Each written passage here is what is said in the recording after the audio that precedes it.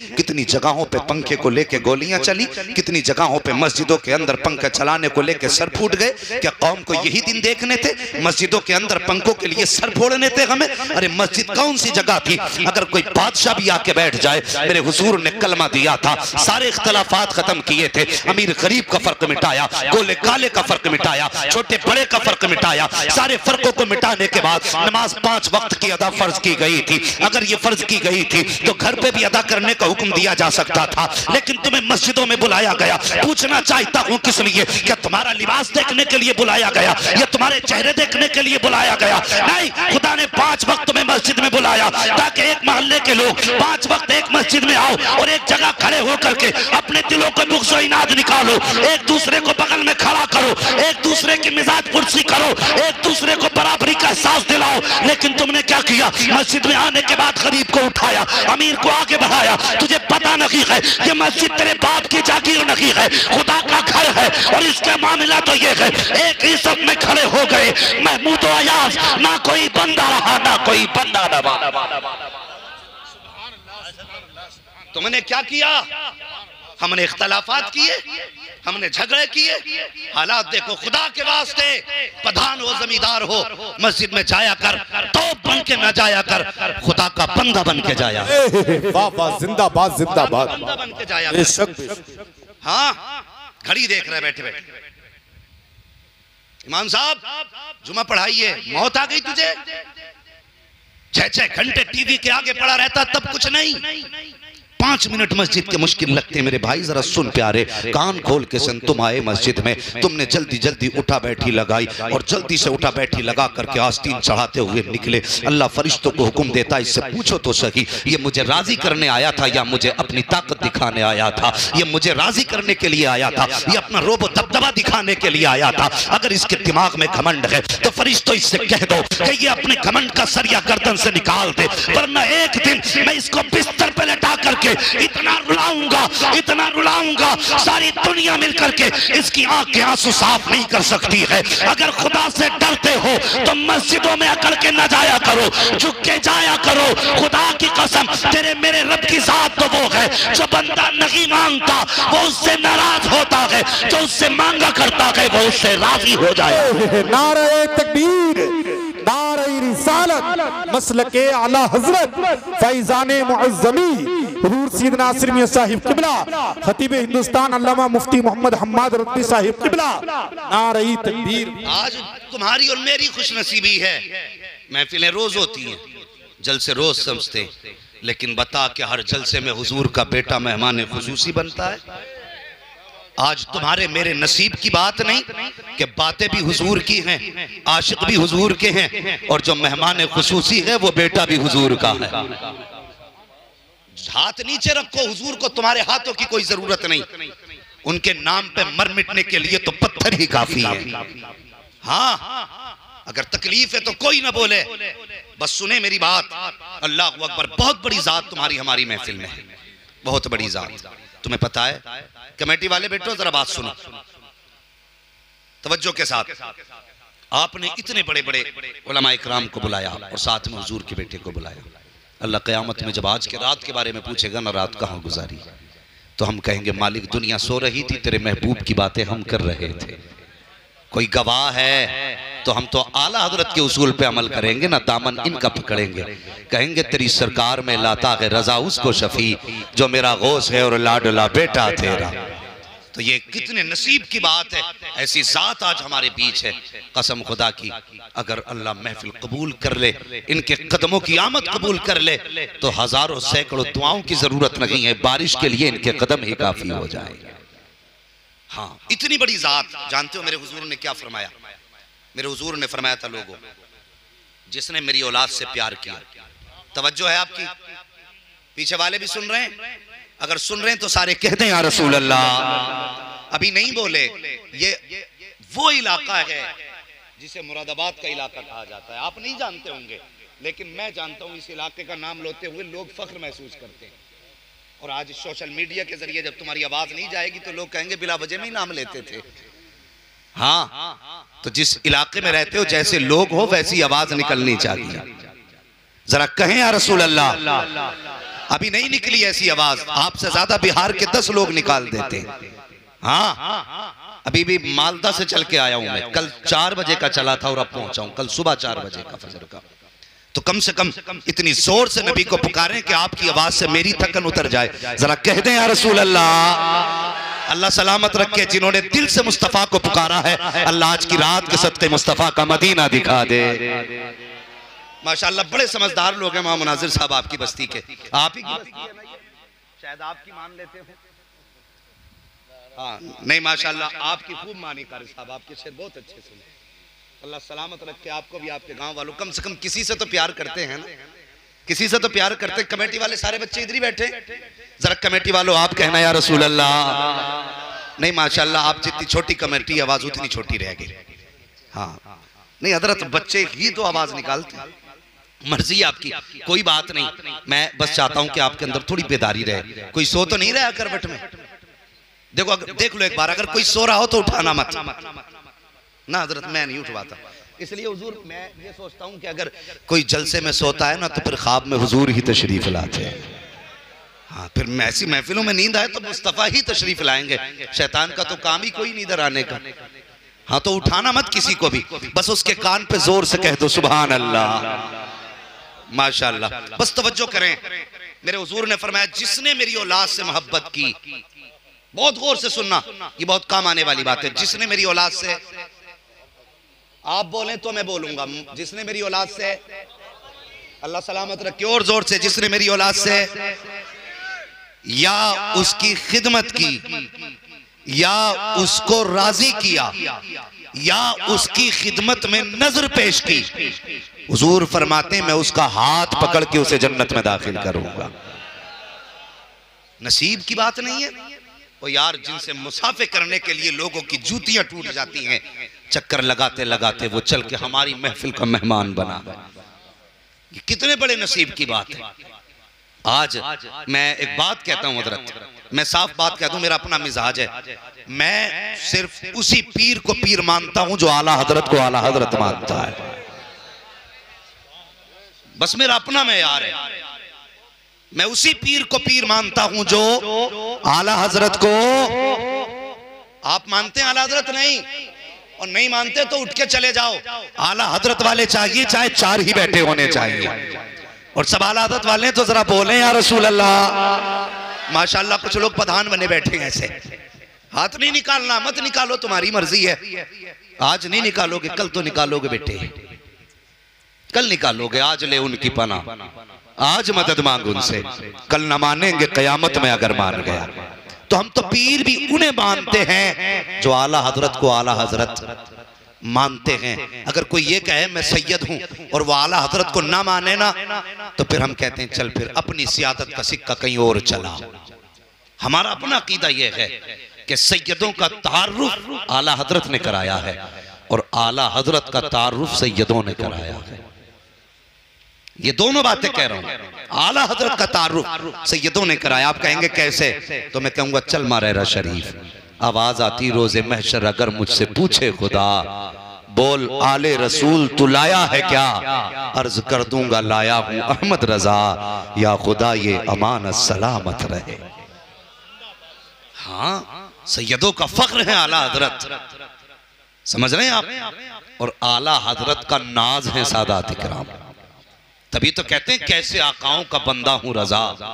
बोल बाले मेरी सरकारों के। हाँ बोल बाले मेरी सरकारों के। आज मिजाज ही अलग हो गए जनाब जी।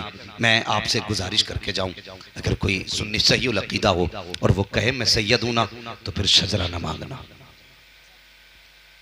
तुम शजरा मत मांगना। कुछ लोग हैं जो आला हज़रत के नाम का नारा भी लगाते हैं और आला हज़रत के इस फतवे के खिलाफ भी करते हैं। और सिर्फ़ हज़रत ये चाचा साहब, ये सिर्फ़ दुकानें चमकाने के रास्ते रह गए। हाँ जहाँ किसी का सिक्का नहीं चलता, वो शजरे मांगने लगता है। और यार, आला हज़रत ये कहते हैं, अगर कोई सैयद ना भी हो, और तुझसे कहता मैं सैयद हूँ, तुझ पे लाजिम है, तू उसको सैयद तस्लीम कर। उसका एहतराम कर। लेकिन आज मिजाज उल्टे हो गए। लोगों के नंबर नहीं आते तो अगर कोई कहता, मैं सैयद हूँ तो कहते हैं, लाओ जी, कोई और तो कमी नहीं, इससे कहो, शजरा दिखा, शजरा कहाँ है? तू नहीं जानता है, आज तू शजरा मांग रहा है। आ तुझे कहानी सुनाऊं। बगदाद से चलकर कुछ सादात तशरीफ़ लाए थे। उनमें कुछ बच्चियाँ भी थी। अल्लाह अकबर तशरीफ़ लाई वो हिजरत करने के बाद। जब दूसरे शहर में पहुँची हैं, बच्चों में फाके होने लगे। घर में कमाने वाला कोई ज़रिया ना था। वो सैयदादी थी। भीख मांगने की हिम्मत इजाज़त नहीं दे रही थी। सदका लेने की सियादत इजाज़त नहीं दे रही है। अल्लाह वक्त पर जाए तो कहाँ जाए? लोगों के दरवाजे पे जाने से हिम्मत जवाब दे गई है। अल्लाह वक्त पर उनको पता क्या करना था। जैसे नए शहर में आई है, सुनना जरा प्यारे गौर से। वहाँ पे कोई छत भी नहीं है। आराम करने के लिए आराम गाह भी नहीं है। किसी ने बताया, इसी शहर के अंदर कोई नबी का कलमा पढ़ने वाला है और वो बड़ा रईस है। अल्लाह वक्त पर ये सैयदादी उस अमीर के दरवाजे पे गई। जाने के बाद दस्तक दी। अंदर से कलमा पढ़ने वाला निकला।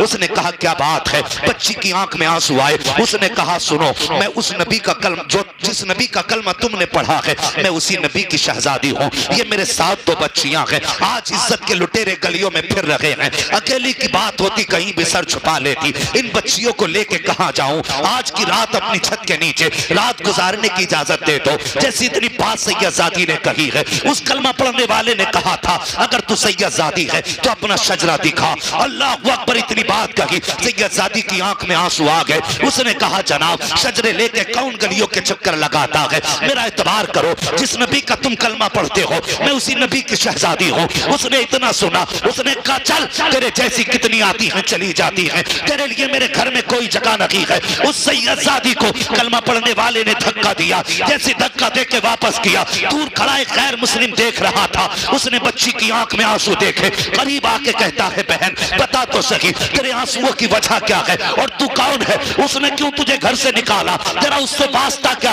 जब उसने इतना सुना है, चेहरा देख के कहने लगी, जनाब, तुम एक अजनबी हो। तुमसे क्या बताऊँ मैं कौन हूँ? और तुम्हें क्या बताऊँ उससे क्या रिश्ता है? का बहन बता तो सही, उससे तेरा रिश्ता क्या है? सैयदादी ने कहा, सुन, अगर पूछना चाहता है तो सच्चाई ये है कि जिस नबी का ये कलमा पढ़ता है, मैं उस नबी की बेटी हूँ। अल्लाह अकबर। का फिर क्या हुआ? का एक रात की मोहलत मांगी थी, इसकी छत के नीचे रात गुजारने की। इसने ढोंगी बता करके धक्का दे के मुझे निकाल दिया। उस गैर मुस्लिम ने इतना सुना, आँख में आँसू आ गए। रो के कहता है बहन, मैं तुम्हें छू तो नहीं सकता हूँ। मेरे हाथ इस लायक नहीं है कि तुम्हारा हाथ पकड़ सकूँ। लेकिन मेहरबानी करो। आज की रात मेरी मेहमान बन जाओ। इतना सैयदादी ने सुना है जैसे आपकी मर्ज़ी हो, वो अपने दरवाजे पे लेकर के आया। अब उस गैर मुस्लिम की अकीदत देखना प्यारे, सुनना गौर से प्यारे। जब दरवाजे पे आया है, आने के बाद कहता है सुन सैयदादी ए नबी की बेटी, ये मेरा घर है। अंदर एक कमरा है, उसमें मेरी बेटी बीवी है। अगर तुम इजाज़त दोगी तो मैं दरवाजे के अंदर रात गुजार दूँगा। अगर तुम्हारी इजाज़त नहीं होगी तो मैं पूरी रात दरवाजे के बाहर बैठ के गुजार दूँगा। अल्लाह अकबर, गैर मुस्लिम ने इतनी बात कही है सैयदादी ने कहा, चचा, घर आपका है। जहाँ चाहो वहाँ रात गुजारो। मुझे कोना दे दिया जाए, जिस पे मैं आराम से रात गुजार सकूँ। इसने कहा, ठहर जा बेटी। बच्ची को बाहर ठहराया। अंदर जाके बच्चियों से कहता, कमरा खाली कर दो।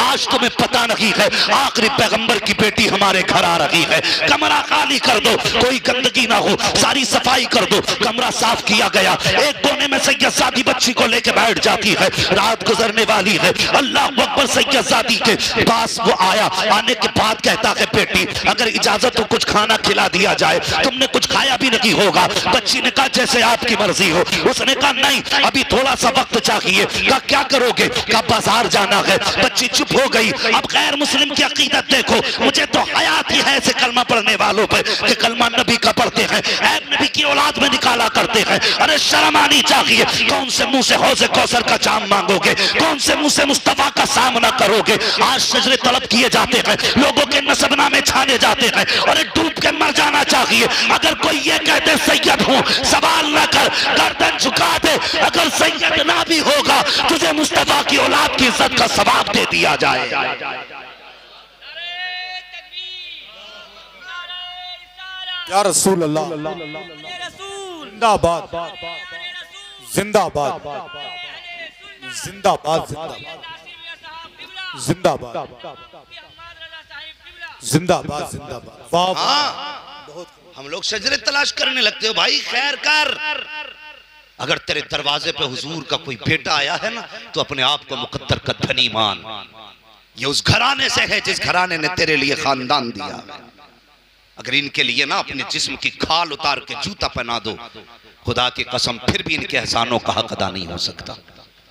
तेरा मेरा लगाई क्या है दीन पे? बताना अगर तेरा अठारह साल का दीन के लिए जाता तो तब तुझे पता चलता दीन कैसे आया। है अगर तूने छह माह के बेटे के हलक से तीर निकाला होता, तब तुझे पता चलता दीन कैसे हम तक पहुँचा है। नहीं जानते। खुदा की कसम मेरे हुसैन ने अपने भतीजे हज़रत कासिम के टुकड़े जब करबला के मैदान में गए थे तो खाक में टुकड़े मिला दिए गए थे। हज़रत कासिम के जिस्म के टुकड़े नज़र नहीं आए थे। आसमान की तरफ़ निगाह उठा के कहा था, ए मेरे मालिक, मेरा कासिम कहाँ है? आवाज़ आई थी हुसैन, कान लगा, जहाँ जहाँ से कुरान की तिलावत की आवाज़ आ रही है, वहीं वहीं कासिम के जिस्म का टुकड़ा मौजूद है। तेरा लगा क्या है दीन के लिए? शर्म नहीं आती। आज हमारे इलाके में इतनी तेज़ी से ये फसाद फैल रहा है। हाँ सुने गौर से प्यारे, हमारा कुछ नहीं लगा। कासिम के जिस्म के टुकड़े मेरे हुसैन ने इकट्ठा किए, गठरी बाँध के खेमे में लेकर के आए। उस माँ से पूछ कि उस माँ ने बेटे की लाश को कैसे देखा था? क्या मेरा दीन के लिए। और तेरी बेटी एक दिन रोजा रखती है तो पूरा बाज़ार खरीद के ला के रख देता है। आज मेरी बेटी ने सुबह से पानी नहीं पिया। खुदा की कसम सलाम कर हुसैन की सकीना को। तीन दिन की प्यास थी। हाँ शाम गरीबा के बाद जब आपको पानी का प्याला उनकी बीवी ने पेश किया था, आपने कहा था, फूफी, ये पानी पहले आप पी लें। सलाम करो इस घराने को यार। तो जब प्याला प्याली का पेश किया गया, पानी का प्याला, हज़रत जैनब ने कहा था, बेटी, जिस घर के छोटे प्यासे होते हैं, उस घर के बड़े पानी नहीं पिया करते। ये पानी पहले तुम पियो, तुम छोटी हो। मर्रिखीन ने लिखा है, हज़रत सकीना ने प्याला लिया, दौड़ लगाई। फूफी ने कहा, बेटी, कहाँ जा रही हो? मुड़ के फूफी का चेहरा देखा और कहा था, फूफी, अभी आपने कहा था, जिस घर के छोटे प्यासे होते हैं, उस घर के बड़े पानी नहीं पीते, अभी मेरा असगर प्यासा है। पहले असगर को पानी पिलाया जाएगा, उसके बाद मैं अपनी प्यास बुझाऊँगी। अल्लाह अकबर ये कहा, ठोकर लगी, प्याला ज़मीन पे गिरा, पानी बह गया, आवाज़ आसमान से आ रही थी। सलाम सब्र सकीना, सलाम अहले बैत मोहम्मद। तुम्हें क्या पता क्या लगा के दीन के लिए इनका? हाँ सलाम तेरी नब्ज न डूबेगी हश्र तक, तेरी रगों में खून है जहरा के लाल। सोचे जरा, इनकी जुर्रत और हिम्मत को सलाम। खुदा की कसम, ये इनका ही जिगर था जो इन्होंने किया। और इन्हीं का हिस्सा था, ना ऐसा कोई दीन के लिए इनसे पहले कर सका और ना इनके बाद कोई कर पाएगा। सोचो। ख्याल है आपका? अल्लाह अकबर, गठरी जब हज़रत कासिम के जिस्म की हुसैन खेमे में लाए। हज़रत सकीना आके कहती हैं, बाबा, तुम अकबर को भी ले आए और सबको ले आए, मेरे कासिम को नहीं लाए। मेरे हुसैन ने कहा था, बेटी, सवाल न करो। उम्मे फरबा को बुलाओ। उम्मे फरबा हज़रत कासिम की अम्मी का नाम है। हज़रत कासिम अम्मी कासिम की अम्मी आई। और आके बैठ गई। कुछ ना सवाल किया, मेरे हुसैन ने फरमाया, पूछोगी नहीं तुम्हारा कासिम कहाँ है? माँ का जवाब सुनो। माँ ने कहा था, हुसैन, मुझे गठरी से महका रही है, इसी गठरी में मेरा बेटा है। कहा, कैसे पता चला? कहा, माए बेटों को खुशबू से पहचान लेती है। समझ रहे मेरी बात? माए बेटों को खुशबू से पहचान लेती हैं। और उसके बाद आपने सजदे में ज़मीन सब ज़मीन पे सर रख के कहा था, मालिक तेरा शुक्र है, तूने मेरी अठारह साल की कमाई को अपनी बारगाह में कबूल फरमा लिया। शर्म आनी चाहिए? हमें कुछ नहीं मिला। हाँ हम वो लोग हैं जो अहले बैत के प्यार में डूब करके सहाबा की तोहीन नहीं करते। खुदा की कसम, हम वो लोग हैं जिनके एक हाथ में अहले बैत का दामन है, दूसरे हाथ में मुस्तफ़ा के सहाबा का दामन है।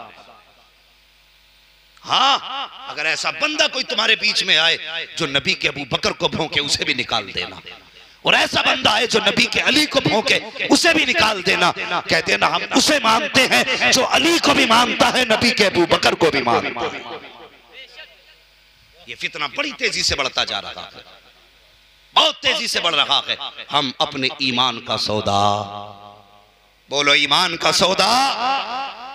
सुस्ती क्यों कर रहे हो? डरे किसी का? अपने ईमान का सौदा। इधर वाले क्यों नहीं बोल रहे? क्या हुसैन का सदका नहीं खाते? हम अपने ईमान का सौदा। नहीं करेंगे। कोई भी आए। हाँ हम उसकी मानेंगे जो आला हज़रत वाला होगा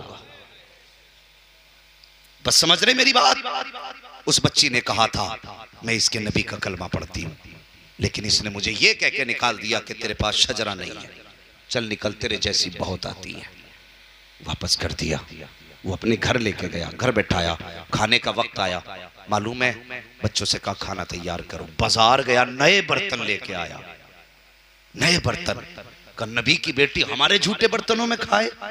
ये हमें गवारा नहीं उसकी आँख में आँसू थे, कहने लगा सैयदादी सुना गए ईसाइयों को, अगर उनके नबी की सवारी के कदमों के निशान मिल जाते थे तो वो उन जमीनों को सजदागा बना लेते थे। ये कैसा उम्मती है हुजूर का, कि बेटी आई और धक्का दे के हुजूर की बेटी को भगा दिया? अल्लाह अकबर सैयदादी को खाना खिलाया, और खाना खिलाने के बाद जब जाने लगा, ना कहने लगा, बेटी हुजूर की है। जी कहकर बाबा से मुलाकात होना उनसे कहना मेरे लिए दुआ फरमा दे। बोले जरा सुबह अल्लाह ऐसे नहीं, मैं ऐसे माहौल में तकरीर करने का आदि नहीं हूँ। भीड़ से मतलब नहीं, जज्बात से मतलब है। अगर सुन रहे हैं तो बोले सुबह अल्लाह कहने लगे, अगर बेहजूर से मुलाकात होना तो मेरे लिए दुआ की दरखास्त कर लेना। अल्लाह अकबर, इधर ये उठ के गया है, उधर बच्ची की आँख लगी सैयदादी की ख्वाब में मुस्तफ़ा तशरीफ़ ले आए हैं। हुजूर बेटी के ख्वाब में तशरीफ़ लाए, अपनी बेटी के सर पे हजूर ने हाथ रखा। और सुनो प्यारे गौर से, इधर सैयदादी सोई है, सुबह का सवेरा हुआ है। जैसी सुबह का सवेरा हुआ, सुबह ही दरवाजे पे वही कलमा पढ़ने वाला, जिसने हुजूर की बेटी को धक्का दे के भगाया था, दरवाजे पे आके खड़ा हो जाता है। दरवाज़ा दरवाज़ा बजा रहा है। अंदर से आवाज़ आती, कौन कहा दरवाज़ा खोलो? जैसी दरवाज़ा खोला गया, यही जिसने हुजूर की बेटी को धक्का दिया था। क्या बात है? कहा कि जो तुम्हारे घर मेहमान है, मैं उसे बुलाने के लिए आया हूँ। कहा, किस लिए बुलाने आए हो? कहा, हमारे हुजूर की बेटी है, मेरे साथ भेज दिया जाए। जब इतनी बात सुनी है, उसने कहा, अब लेने आया है। कहा हाँ। कहा, मैं नहीं भेज सकता। उसने कहा, क्यों नहीं भेजेगा ये मेरे हुजूर की बेटी है? उस गैर मुस्लिम ने कहा सुन ये कल तक तेरे हुजूर की बेटी थी। अब ये मेरे भी हुजूर की बेटी हो गई है। अब मेरे भी हुजूर की बेटी हो गई है। कहा कहना क्या चाहता है? कहा बता तो सही। उसने कहा तू बता अब क्यों आया है? कहा अजीब मामला हो गया। कहा क्या हुआ? कहा मैंने ख्वाब देखा है। कहा कौन सा ख्वाब? कहा मेरी आँख लगी। मैंने देखा कि सब मैदान कयामत में जमा है। जन्नती जन्नत की तरफ़ जा रहे हैं। दो जखी दो की तरफ़ जा रहे हैं। कब मैं भी उधर चला। जिधर जन्नती जा रहे थे मुझे फरिश्तों ने पकड़ लिया। पूछा किधर जा रहा है? मैंने कहा, जन्नत की तरफ़। फरिश्ते कहने लगे, जन्नत हुजूर के गुलामों की है। मैंने कहा, मैं भी हुजूर का गुलाम हूँ। फरिश्ते कहने लगे, दिखा, तेरे पास सनद कहाँ है? तू अगर हुजूर का गुलाम है तो सनद कहाँ है? उसने कहा सनद कहाँ से लाऊं? कहा, सुन, कल तेरे दरवाजे पे हुजूर की बेटी आई थी। तूने उससे सनद मांगी थी। अगर वो शजरे के बगैर सैयद नहीं हो सकती तो तू भी सनद के बगैर जन्नती नहीं हो सकता है। अल्लाह या रसूल अल्लाह जिंदाबाद। आला हज़रत, आला वाह भाई वाह। या अली। जिंदाबाद जिंदाबाद। जिंदाबाद जिंदाबाद। अल्लाह अकबर। जो है। चलें थोड़ा और आगे। हाँ अगर ऐसे मुँह देखेंगे जैसे लोग जनाजा देखने आते हैं तो तकरीर नहीं, फिर नमाज़ जनाजा पढ़ना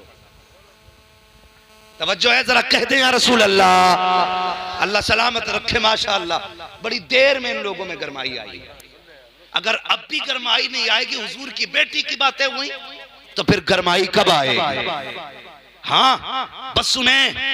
जब उसने कहा ना, ये कल तक तेरी हुजूर की बेटी थी, आज ये मेरे हुजूर की भी बेटी है। तो उसने कहा, कैसे? तो कहने लगा, सुन, जो ख्वाब तूने देखा है, वही ख्वाब मैंने भी देखा है। फ़र्क है, तेरी ख्वाब में जन्नत के नजारे थे, मेरे ख्वाब में मुस्तफ़ा के नजारे थे। हाँ कहने लगा, मेरी आँख लगी ना, ख्वाब में हुजूर आए और आने के बाद मेरे सर पे हाथ रखा। तो कहने लगा, मेरी आँख में आँसू आ गए। मैंने कहा करीम जब इतना कर्म किया घर तक आए हो तो इतना कर्म और कर दो कि मुझे अपना गुलाम बना लो।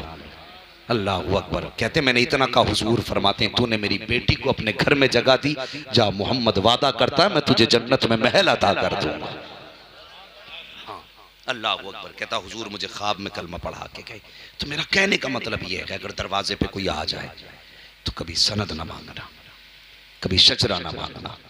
फ़र्ज़ कर लो अगर वो नहीं है सैयद और तुमने शजरा मांगा तो बच भी सकते हो अगर वो सैयद था और तुमने शजरा मांग रखा है।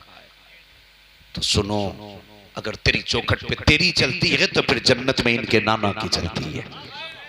ये कान खोल के सुन लेना। फिर जन्नत में इनके नाना की चलती है। आला हज़रत फरमाते हैं कि तुझसे और जन्नत से क्या मतलब? वहाँ भी दूर हो। हम रसूलुल्लाह के जन्नत। सारे बोले जन्नत।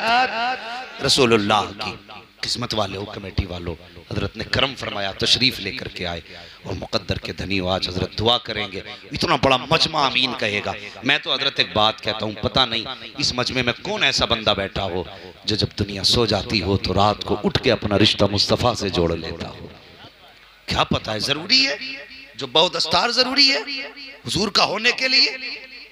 हुजूर से इश्क के लिए ज़रूरी नहीं कि खुशबू लगे, कपड़े पहनता हो, तब आशिक है।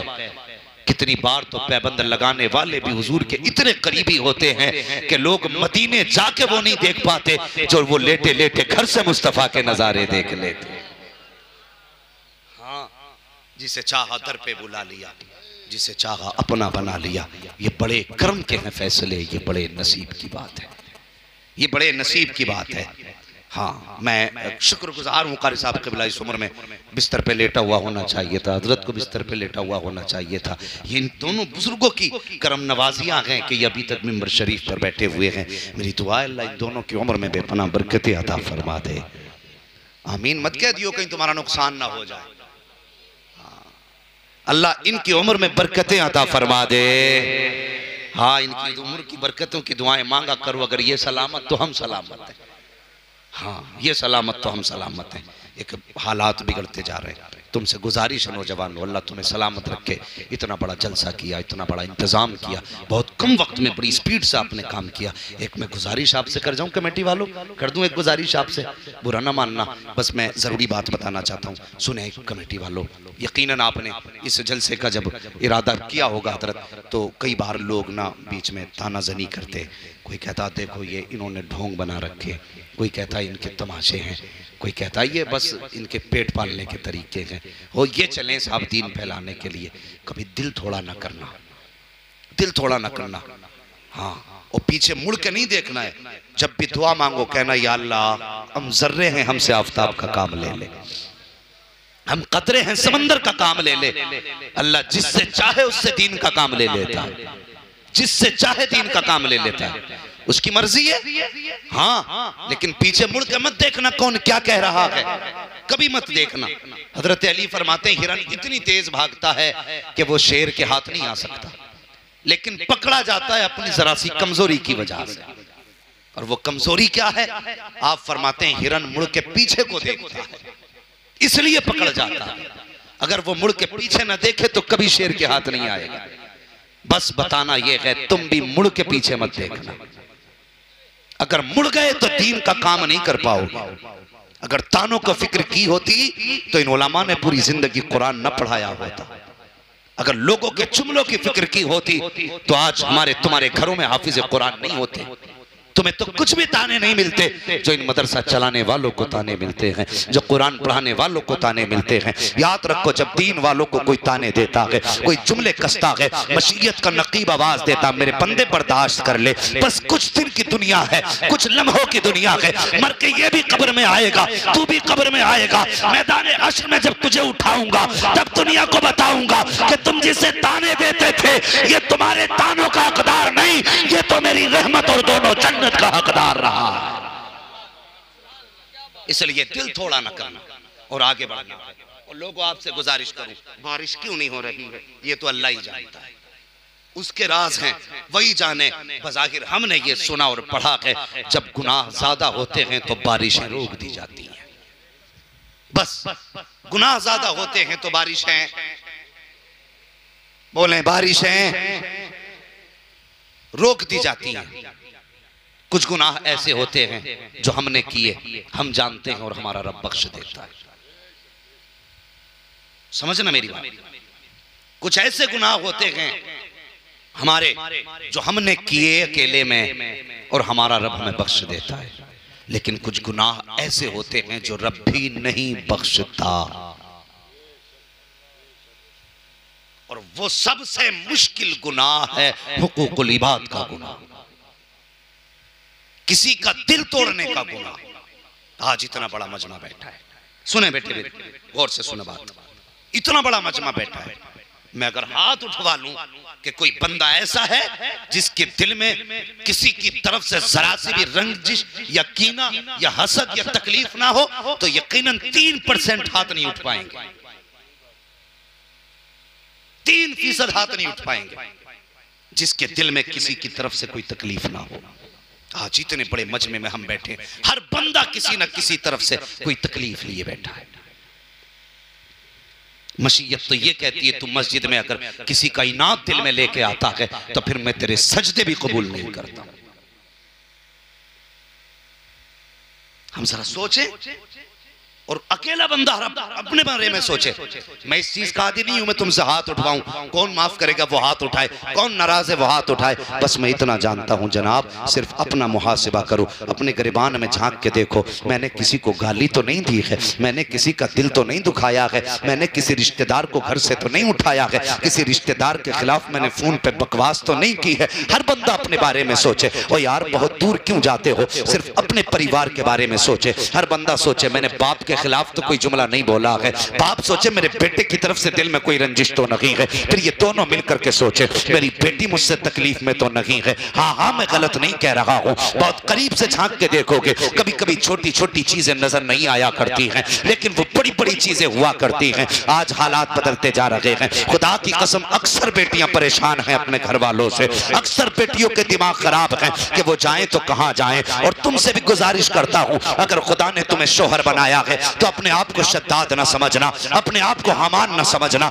अपने आप को कारून न समझना। अगर तुम्हें रिजालो कवामूना निसा का खिताब दिया गया है तो अपने आप को तज्जाल मत समझ लेना। खैरियत नहीं है अगर तुम्हारी वजह से किसी की बेटी का दिल टूट गया। बिला वजह अगर तुमने किसी को सताया, एक बात कान खोल करके सुन लेना। हर घर के अंदर किसी की बेटी मौजूद है, किसी की बीवी मौजूद है, किसी की माँ मौजूद है। फरमाया गया है, जिस घर के अंदर कोई औरत रोया करती है, उस घर से खुदा की रहमतें रूठ जाया करती हैं। उससे रहमतें नाराज़ हो जाया करती हैं। आज हर घर की कहानी है, कहीं पे बेटी रो रही है, कहीं पे माँ रो रही है, कहीं पे बीवी रो रही है। अगर हुजूर से इश्क किया है तो रिश्ते ऐसे निभा के जाओ, ऐसे निभा के जाओ कि जब तेरा जनाजा उठे तो कोई ये ना कहे कि अच्छा हुआ जनाजे पे लेट के जा रहा है, बल्कि ऐसे ज़िंदगी गुजार के जा। अगर जनाजा तेरा उठे, लोग रोए तो ज़रूर, लेकिन बद दुआ करके ना रोए। ये सोच के रोए ये जा रहा है आज के बाद मेरे घर का चूल्हा कैसे चलेगा? आज के बाद मेरे कमों को कौन सुनेगा? मेरी तकलीफें कम कौन करेगा?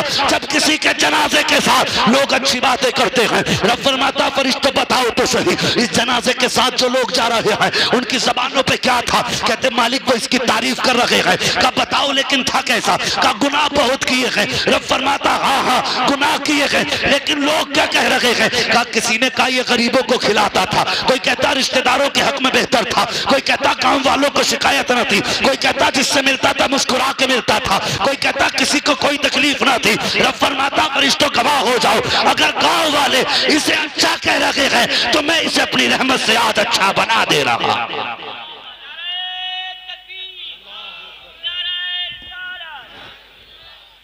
हाँ जब जन्नत बांटने की बारी आ गई हेलो। हेलो जब जन्नत बांटने की बारी आती, चौराहे पे खड़े होकर आस्तीन उठा के ऐसा लगता है जैसे कि इसने कोई गुनाह किया ही नहीं। और खुदा के बंदे, किसी को कहने से पहले अपने आप को सोच, अपने आप को सोच। सुने मेरी बात। मुझे बड़ी तकलीफ़ है, चंद दिन से बड़ी तकलीफ़ से गुजर रहा हूँ मैं। हाँ एक बच्ची का एक दिन फ़ोन आया, वो कहने लगी, मौलाना, दुआ कर दे कि अल्लाह इतना दे दे कि मेरा अपना घर बन जाए। सुनना बहुत गौर से, भाइयों, तुम भी सुनना। लोग कहते हैं, नहीं नहीं, मैं सगा भाई हूँ, उसका मैं मैं पूरी ज़िंदगी ख्याल करूँगा। सुनो, भाई का, बहन का फ़ोन है और अभी ज़िंदा है सब। कोई दूर की बात नहीं है। सुने, कहने लगी, मौलाना, दुआ करना हज़रत जी, कि मेरा अपना घर बन जाए। मैंने कहा, अल्लाह, बेहतर करे इंतज़ाम करे। और उसके बाद कहने लगी, मैं एक बात आपसे कह सकती हूँ। मैंने कहा, कहो, बहन। रोने लगी। उसने कहा, कोई दुआ ऐसी भी कर देना कि मेरे बाप और मेरे भाई बस मुझे अपनी बेटी और अपनी बहन समझने लगे। मैंने कहा, बात क्या है? उसने कहा, ग्यारह साल हो गए मेरे निकाह को। मेरे बाप ने ग्यारह साल पहले मेरा निकाह किया था और आज तक कभी मेरे बाप का खैरियत पूछने तक फ़ोन नहीं आया। लोग कहते हैं, बारिश नहीं हो रही? कहाँ से होगी बारिश? जिस ज़मीन पे बेबस के आँसू गिरते हैं, उस ज़मीन पे पानी नहीं गिरा करता है। हाँ उसने कहा, मेरे बाप का फ़ोन तक नहीं आया। उसने कहा, दो मरतबा घर गई हूँ। एक माँ की मौत पे घर गई थी, एक भाई की मौत पे घर गई और उसमें भी उसने ये कहा, जितने दिन मैं अपने घर पे गई ना, मैंने अपना राशन खरीद के अपने बच्चों को पका के खाना खिलाया। कहने लगी, मेरे बच्चे मुझसे पूछते, माँ, दुनिया में सबके रिश्तेदार होते हैं, क्या हमारा कोई रिश्तेदार नहीं? दुनिया में सबके अपने होते हैं। ग्यारह साल एक घर में घुटते हुए हो गए। कभी किसी ने हमें बुलाया तक नहीं। ये कहते कहते वो बेटी रोने लगी। वो भाई मैं क्या जवाब देता उसे? मैंने कहा बाप नहीं उसने कहा है। कहा भाई का भाई भी है। मैंने कहा गरीब है कहा नहीं जमींदार है। मैंने कहा फिर ऐसा क्यों कर रहे हैं? कहा मैं नहीं जानती। और मुझे बता मैंने कहा कभी तूने अपने भाइयों से हक नहीं मांगा? उसने कहा, मैंने अपने बच्चों के लिए एक वक्त का खाना मांगा तो हमारी भाभी ने हमारा हाथ पकड़ के घर से निकाल दिया। कहा, मौलाना, जिस दिन से ससुराल आई हूँ, बाप ने पीछा छुटाने के लिए पंद्रह साल की उम्र में निकाह किया था। जिस वक्त निकाह किया, उस दिन मेरे बाप गरीब थे। आज अमीर हो गए हैं, पैसे वाले हैं, ज़मीन वाले हैं। ओ यार, बेटियों से यूँ दामन न छुड़ाया करो, बेटियों से यूँ रिश्ते न तोड़ाया करो। तुम्हें नहीं लगता है, बेटियों की ज़िंदगी कितनी मुश्किल होती है? कि आज हर घर का झगड़ा नकी है? बात बात में कहते तलाक दे दी जाएगी। पूछो अल्लामा साहब से ये साहब कबिला से। पूछो कारी साहब कबिला से, इन उलमा से पूछो, ये बड़ी जमात बैठी हुई है। आए दिन तलाक के झगड़े हैं आए दिन बीवियाँ छोड़ने के झगड़े हैं। बेटे, किसी की बीवी को, किसी की बेटी को तलाक न देना, किसी की बच्ची को घर से गाली पक्के न निकालना। तू नहीं जानता है, जब किसी की बेटी का घर उजड़ जाता है तो बाप के जिगर पे क्या गुजरा करती है? बाप तो बूढ़ा हो जाता है, बेटी को जवान करने में। लेकिन बेटियाँ जब तलाक के बाद खराया करती है, उसके बाद बाप के जिगर पे क्या गुजरती है? खुदा की कसम अगर वो दर्द पहाड़ों पे डाल दिया जाए तो पहाड़ों के कलेजे फट जाएँगे। लेकिन हम घर उजाड़ने में देर नहीं करते। ओ भाइयों, तुमसे गुजारिश है, बहनों को कभी बोझ ना समझना। ये अभी कुछ दिन पहले की कहानी है। एक बच्ची को तलाक दी गई। तीन बच्चियाँ लेके मैके पहुँची है और अपने बाप के दरवाजे पे गई। बाप बाप था, उसने बेटी को बोझ ना समझा। बेटी की परवरिश करता रहा। वो बच्ची कहती है, कब तक बाप पालता? कल दिन बच्ची कहने लगी, "दा- नाना, हमें ये चाहिए। कब मेरा बाप मजदूरी करने गया? जब बाज़ार में गया, बाल सफ़ेद थे। सुनो बेटो, तुम भी सुनो, कितनी बेगैरती से बाप को अलहदा करके खाते हो और कहते हो, मोज आ रखी है। बाप अलहदा छप्पर में पड़ा है, तुझे लिंटर में मोज आ रखी है और शर्म चाहिए ऐसे बेटे को, जिसके बेटे बाप को छत नसीब ना हो और बेटा पंखों में लेटा हो, जिसके बाप को हाथ का पंखा नसीब ना हो, बेटा एसी में लेटा हो और शर्मकार अपने बाप को गर्मी में न लेटा, बल्कि आज उनको अपने एसी के कमरे में लेटा, मर के कब्र में आएगा। कसम खुदा की तेरी कब्र बनने से पहले अल्लाह तेरी कब्र में जन्नत की ठंडी हवाएँ चला डाले। रिसालत मसलक आला हज़रत इश्क मोहब्बत इश्क मोहब्बत प्यार मोहब्बत प्यार मोहब्बत हमारे यार इतनी मेहनत कर। रहे हैं आप हजरात के सामने दिल निकाल कर। लेकिन आप बस तवज्जो करें। और मेरी बात सुने प्यारे। खुदा के वास्ते बारिश चाहते हो तो अपने माँ बाप को राज़ी करो। अपने माँ बाप को राज़ी करो और उस बच्ची की बात सुनो। उसने क्या कहा मालूम है? वो कहती, मैं बाप के घर आ गई। मेरे बाप ने देखा, भाई खर्च देने तैयार नहीं है ना। तो बाप मेरा थैला उठा के बाज़ार जाने लगा। मार्केट मतलब मजदूरी करने के लिए। मैंने कहा अब्बा किधर उसने कहा, बेटी, बच्चों के लिए कुछ तो लाना पड़ेगा। अभी मैं ज़िंदा हूँ, तुझे हाथ फैलाने नहीं दूँगा। बाप बाप होता है, बेटियों से भी गुजारिश है। खुदा के वास्ते गलत कदम उठाने से पहले एक बार बाप की ज़िम्मेदारी समझ लिया करो। समझ लिया करो। हाँ किसी को फ़ोन लगाने से पहले एक बार बाप के सफ़ेद बालों को सोच लिया करो। जब तुम्हें दुनिया धक्के देगी और धोखे देगी, तब यही बाप तुम्हें सीने से लगाएगा। यही बाप सीने से लगाता है। उसने कहा, बेटी, मैं तुझे किसी के आगे हाथ फैलाने नहीं दूँगा। मार्केट गया। लोगों ने कहा, तेरी उम्र नहीं कमाने की। हाथ जोड़ के कहने लगा, मेरे घर पे, मेरी बेटी भूखी बैठी है। कम से कम कम दे देना पैसा, लेकिन मजदूरी करा लो। अल्लाह अकबर कहती, मेरे बाप ने मजदूरी की पाला, लेकिन बाप कब तक पालता? एक दिन बाप की मौत का दिन करीब आया, उसने भाइयों को बुलाया। वो बुला के कहने लगा, सुन, मैं जा रहा हूँ, अपनी बहन को कभी लावारिस मत होने देना। ये बड़े दुख उठा के आई है। बड़े दुख उठा के आई है। इसे अकेला मत छोड़ना। तो वो कहती मेरे भाइयों ने बाप की चारपाई के पास खड़े होकर कहा था बा हम वादा करते हैं। जैसे तुझे बेटी से प्यार है वैसे हमें भी बहन से प्यार है। मगर वो कहती है अभी चालीस वही हुआ था बाप का। भाई कहने लगे तू कहीं और जाके रहे तेरी वजह से घर में झगड़े हो रहे मुझसे कहने लगे अगर तू कहे तेरा घर कहीं और ले दे। तो वो कहने लगी मैंने कहा कि मेरे घर की ज़रूरत नहीं है, मैं अपने बाप की छोटी से झोंपड़े में रह लूँगी, तुम कहीं और जाके घर बना लो अपना। कहा, मैंने इतना कहा, मेरे भाइयों ने हाथ पकड़ के मुझे घर से निकाला और दरवाज़ा बंद कर दिया। मेरे बच्चे रो के मेरा मुँह देख के कहने लगे, माफ़, किसके दरवाजे जाएँगे? उसने कहा, मैं बच्चों को लेके बाप की कब्र पे आई और मैंने आके कहा, अब्बा, क्या अच्छा होता कि कम से कम एक कमरा हमें दे के आ गया होता। खुदा के वास्ते। आज जो बारिश नहीं हो रही है ना, झाँक के देखना कहीं कहीं हमारे रिश्तों में दरारें हैं। इसे छोटा गुनाह मत समझना। मेरे हुजूर ने मिंबर पे बैठ के एक दिन कहा था, फरमाया था, जिससे अपने नाराज़ हो, वो मेरी महफिल से उठ के चला जाए। ये छोटा गुनाह नहीं है। बहुत बड़ा गुनाह है। फरमाया, जिससे अपने नाराज़ हो, वो मेरी महफिल से उठ के चला जाए। एक नौजवान उठा। उठने के बाद अपनी खाला के दरवाजे पे गया। खाला कलमा पढ़ने वाली नहीं थी। हुजूर की दुश्मन थी खाला। हुजूर की मुखालफत करती थी खाला। गया खाला के दरवाजे पे और जाके कहने लगा, खाला, मुझे माफ़ कर दे। उसने कहा, आज अचानक मेरे दरवाजे पे? तू तो जब से तूने कलमा पढ़ा, मेरे दरवाजे पे नहीं आया। आज क्या करने आया है? उसने कहा, अगर तू माफ़ नहीं करेगी तो मेरा महबूब नाराज़ रहेगा। खातून कहने लगी कौन है तेरा महबूब? कहा कि जिसको तू गाली देती वो मेरा महबूब है। कहा क्या कहना चाहता है? कहा उसी महबूब ने कहा है जिससे उसके अपने नाराज़ हैं उससे मैं भी नाराज़ हूँ जिससे अपने नाराज़ हैं वो मेरी महफिल में ना बैठे। कहा खाला अगर तू माफ़ नहीं करेगी तो मैं उसकी महफिल में नहीं जा सकता। अल्लाह अकबर। का उसने ये नहीं कहा कि सिर्फ़ अपने नाराज़ से मुराद कलमा पढ़ने वाले नाराज़। का नहीं उसने मज़हब की कैद नहीं लगाई है उसने मिल्लत की कैद नहीं लगाई है। कहा फिर का बस मुतलकन कहा है? अगर तू नाराज़ तो वो भी नाराज़ है। उसने कहा, फिर सुन, ये फैसला यहाँ नहीं होगा। कहा, कहाँ होगा? कहा, वहाँ चल, जहाँ तेरा महबूब बैठा है। मुझे भी लेके चल। खातून वहाँ आई है। जहाँ मुस्तफ़ा जल वगर है, आका के सामने आके खड़ी हुई। मेरे आका करीम ने देखा, खातून की आँख में आँसू है। मुस्तफ़ा अपनी जगह छोड़ते हैं, दरवाजे पे आए। फरमाते, बता, क्या बात है? खातून कहती है, महबूब, अब देर न कर। हाथ बड़ा, कलमा बढ़ा ले। मुझे भी अपना बना ले। आका फरमाते, इतनी जल्दी किस लिए? ये कैसे हो गया? अब तक तो गाली बक रही थी। अब कलमे की तौफीक उसने कहा, तुमने कहा है, जिससे अपने नाराज़ हो, उससे मोहम्मद भी नाराज़ है। कहा, ये भत्ती भांजा मेरा, दरवाजे पे आया, जब इसने मुझसे माफ़ी मांगी है और मुझे बताया कि तू तब तक नाराज़ है। जब तक मैं इससे नाराज़ हूँ तो मैं समझ गई, जो ज़मीन पर हमें अपनों से दूर नहीं होने देता, वो हमको आखिरत में जन्नत से दूर कैसे होने दे सकता? की मोहम्मद से वफा। तूने तो हम तेरे हैं। ये जहाँ चीज़ है क्या? लोहो कलम तेरे हैं। नौजवानों, बारिश चाहते हो तो बेटियों को राज़ी करो। बारिश चाहते हो तो अपनों को राज़ी करो। रहमतें चाहते हो रब की तो माँ बाप की खिदमत करो।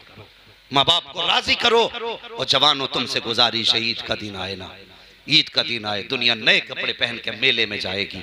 लेकिन तुम अगर हुजूर के गुलाम होना तो रकात नमाज़ पढ़ के ना ईद के दिन सीधे बहन के दरवाजे पे चले जाना। बहन के दरवाजे पे चले जाना। आज नहीं लगता ये इस्लाम जो आज हमारे सामने लोगों के जिस्मों से नज़र आता है ना, ऐसा लगता है कि ये किस दौर में दुनिया चली गई है। किस दौर में दुनिया चली गई है। आज बेटियाँ, क्या जहेज के नाम पे नहीं मर रही?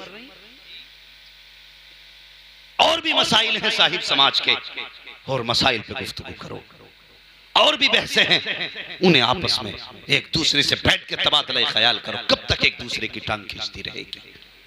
कोई अच्छा करे तो उसकी भी खैर नहीं। हाँ गलत तो गलत है ही। खुदा के वास्ते जो ज़रूरी मसाइल है उन पर बैठ के डिस्कस करो, इन मसाइल का कैसे हमारे समाज से इनको दूर किया जा सकता है? बेटियाँ आज भी रो रही हैं, आज भी बेटियाँ फांसी लगा रही हैं। आज भी बेटियाँ मर रही हैं। आज भी बाप जहर खा रहा है।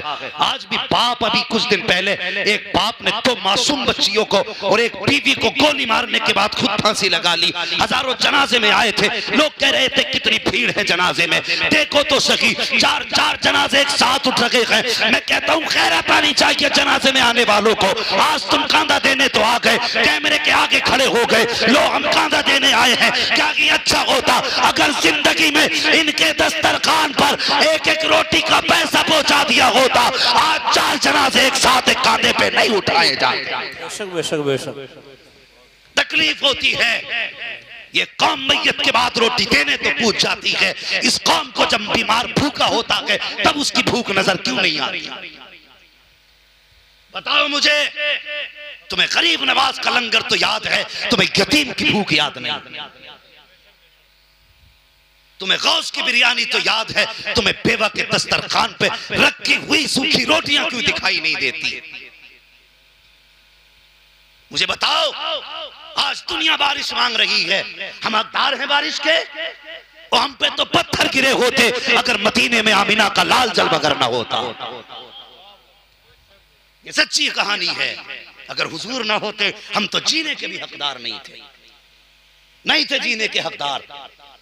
आज बंदा मर जाता है, गरीब तो कफन के चंदे कर लेते हो। अगर गरीब बीमारी में पड़ा होता है, उसकी दवा के लिए चंदा नहीं होता।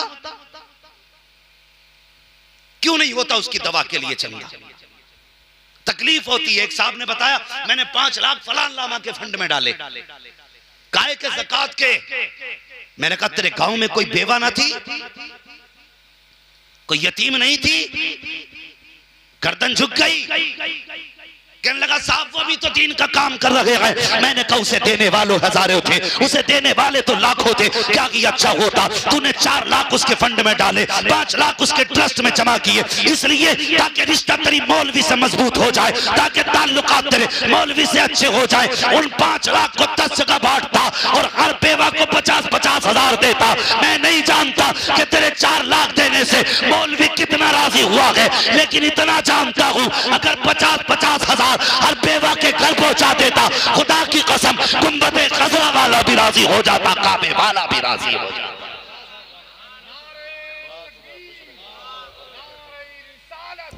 मसल के आला हज़रत फैजान मुअज्जमी हजूर नासिर मियाँ साहिब किबला अल्लामा मुफ्ती रजा साहिब किबला तकबीर रिसालत। हाँ ये हमारे बहुत अच्छा। नहीं है। हम अपनों को कुत्ते से बुरा समझते हैं और दूसरों को खिलाने के लिए हाथ जोड़े फिर रहा तुम ज़रूर आना मुखिया, तुम ना आए तो दस्तरखान पर रौनक नहीं आएगी। ये तेरे लिए मुखिया है। दुनिया को खिला खुदा की कसम। अगर तेरा अपना दस्तरखान से दूर है ना, खुदा की कसम दुनिया चर्चे कर लेगी। लेकिन हुजूर मजार में तकलीफ़ महसूस करेंगे। अगर चाहता है दुनिया चर्चे करे ना करे, कयामत में तेरे चर्चे हो तो अमीर को मना या ना मना, रूठे हुए सगे भाई को मना के दस्तरखान पे ले हाँ वो अमीर था ना? अमेरिका में। कैंसर हो गया उसको, ब्लड कैंसर। बड़ा परेशान। सारे डॉक्टरों ने कह दिया, मौत के सिवा कोई चारा नहीं। किसी अल्लाह वाले से जा मिला। उसने कहा, सच बता, घर कब से नहीं गया? उसने कहा, इक्कीस साल हो गए वतन छोड़े हुए। अभी नहीं गया। कितनी दौलत कमाई का कोई हिसाब नहीं। उसने कहा, अगर ज़िंदगी चाहता है, घर चला जा। कहा, क्यों? कहा, घर जाने के बाद अपने सारे रिश्तेदारों को, खानदान वालों को, जितना ज़्यादा से ज़्यादा हो सके खाना खिला। अल्लाह वो अकबर आया। उसने एक महीने तक रिश्तेदारों को, दोस्तों को, अबाप को, भाइयों को, सारे खानदान वालों को खिलाया। चालीस दिन के बाद जैसी उसने टेस्ट कराया तो ना कैंसर था, ना कैंसर का नाम बाकी था। तुम नहीं जानते अपनों की दुआएँ कितनी लगती हैं। सोच भी नहीं सकते, अपनों की दुआएँ कितनी लगती हैं। अपनों की दुआएँ लिया करो, अपने भी नसीब से मिला करते नसीब से अपने मिला करते हाँ। ये भाई जो है ना, भाई, ये तेरी जायदाद का बंटवारा करने वाला नहीं, ये तेरे बाजू का ज़ोर है। ये तेरी रीढ़ की हड्डी है। पक्के हुसैनी बैठे ना सारे यहाँ पे? जितने हुसैनी, वही हाथ उठा के बताएँ। और सारे कहते हैं, या हुसैन! अल्लाह सलामत रख माशाल्लाह अभी तक जाग रहे। बस ये बात मैंने एक बात समझाने के लिए छेड़ी है। क्या तुम्हारे गाँव में मुसलमानों के मुसलमानों पे मुकदमे नहीं होते? झगड़े नहीं होते? खूब होते हैं। याद रख प्यारे। इतनी जल्दी लाठी ना निकाला करो। इसलिए कि तुम जिनको मारते हो ना, उनके जनाजे तुम्ही को उठाने पड़ते हैं। तुम्ही को जनाजे उठाने हैं और तुम्ही को तीजे तस्वे करने हैं। अलग से कौम नहीं आएगी। लेकिन तुम जानते हो, तुमने अपने का गिरबान पकड़ा, जेल में डाल दिया। कचहरी में जाके देखो, भाई भाई, एक इस तखत पर बैठा वकील के, दूसरा उस तखत पर बैठा। दोनों की कहानी यह है, ये अपने वकील से कह रहा ऐसी दफ़ा लगाना। जो 10-20 साल के लिए अंदर चला जाए वो दूसरा भाई सामने बैठ के कह रहा, ऐसी लगाना जो पंद्रह साल तक ये दुनिया ना देख पाए। और जालिमो, तुम अपने अपने मन की भड़ास निकाल रहे हो। बता, कल दोनों के जेल में जाने के बाद जब ये बच्चे यतीमों की तरह फिरेंगे, इन बच्चों के सर पे हाथ रखने के लिए कौन आएगा बताना, कौन से नबी का कलमा पढ़ा है तूने? मुझे भी समझा। तुम्हें लगता है एक जलसा जन्नत बांट देगा? मुझे जन्नत बांटनी नहीं आती। मेरा अपना उसूल है, मैं आईना हूँ, दिखाऊँगा दाग चेहरे के, जिसे खराब लगे सामने से हट जाए। कौन आएगा बचाने के लिए इन बच्चों को? अच्छा लगता है? हमारे बच्चे यतीमों की तरह गलियों में चक्कर लगाएँ। बाप के होते हुए लावारिस घूमे। शर्म आनी चाहिए। अपने भाई को फंसा के कुर्सी पर टांग पर टांग रख के कह रहा, मुझसे बैलने चला था। होश नहीं है तुझे? पूछ इन उलमा से, मेरे हुसैन ने इकहत्तर लाशें करबला में उठाई थी। कितनी? सारे बोले, कितनी? इकहत्तर लाशें उठाई। लेकिन सत्तर लाशें उठाई तो कमर तक हाथ नहीं गया।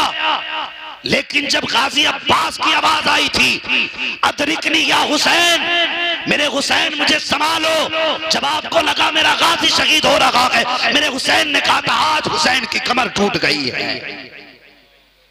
तू जानता है भाई क्या है? अट्ठारह साल के बेटे की लाश उठा के कमर नहीं पकड़ी।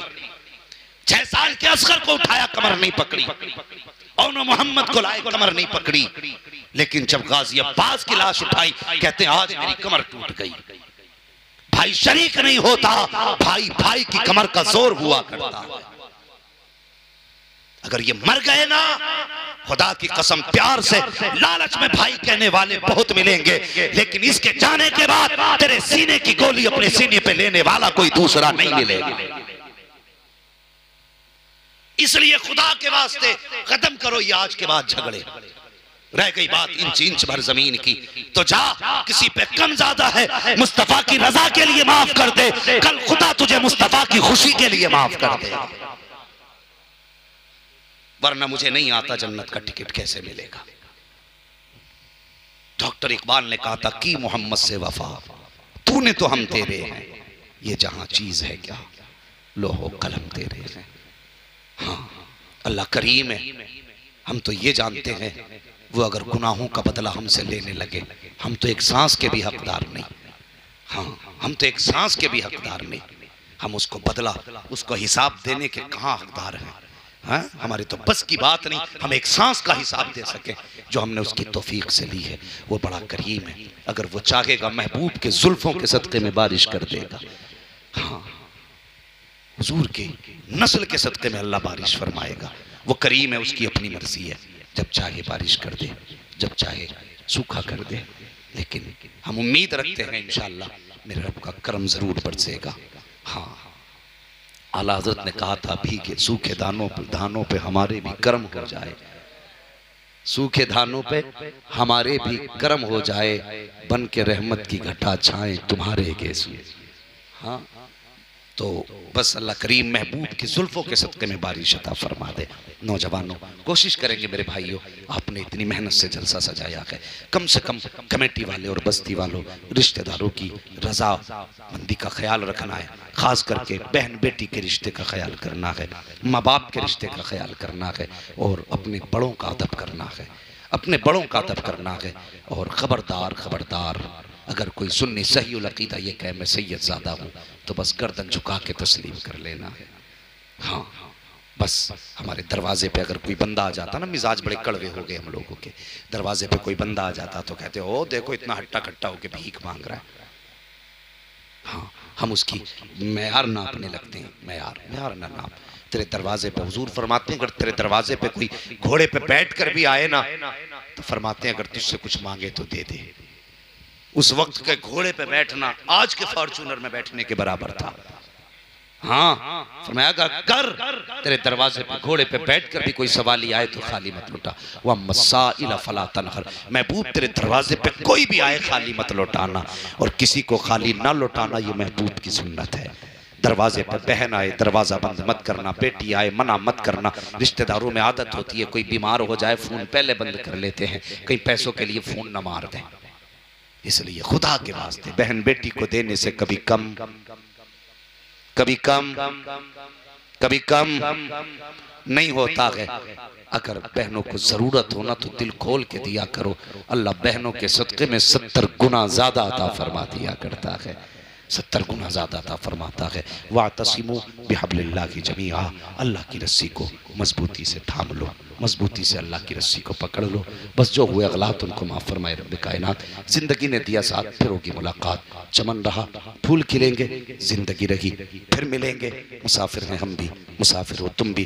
किसी मोड़ पर फिर मुलाकात होगी। फ़कीरान आए सदा कर चले, सदा खुश रहो, ये दुआ कर चले। ये कमेटी, ये जलसा, ये बस्ती के लोग, जिंदाबाद।